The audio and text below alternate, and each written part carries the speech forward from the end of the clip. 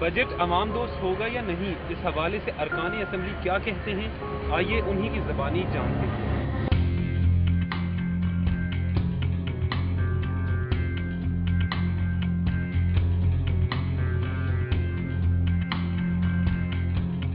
इस बजट में खसूसी तौर पर उन अफराद के ऊपर जो डिपेंडेंट लोग हैं हमारी औरतें हैं हमारे बच्चे हैं हमारे जवान लड़के जो जो बेहुनरमंद हैं उनके ऊपर खसूसी तवज्जो है।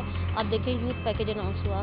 ना बड़ा मतवातन होगा पंजाब का और पिछले चार बजट्स आए हैं वो शरीफ साहब ने उनमें जो प्रायोरिटीज़ दी हैं वो हेल्थ को दी है एजुकेशन को दी है तो उसी पैटर्न पे होंगे हेल्थ का हम ज़रा बढ़ाएँगे इन जो अब का बजट होगा उसमें स्पेशली जो है खातन को रिलीफ दिया जाएगा।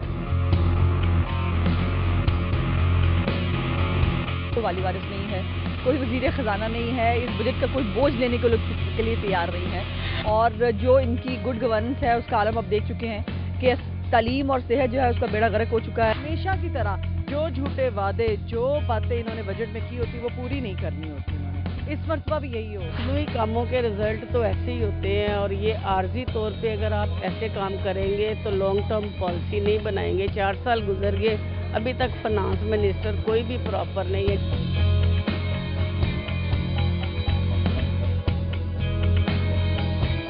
अवाम के लिए वही बजट काबिल कबूल है जिसमें उन्हें रिलीफ मिले। कैमरामैन नासिर मसूद के साथ उमर असलम सिटी 42 पंजाब असम्बली।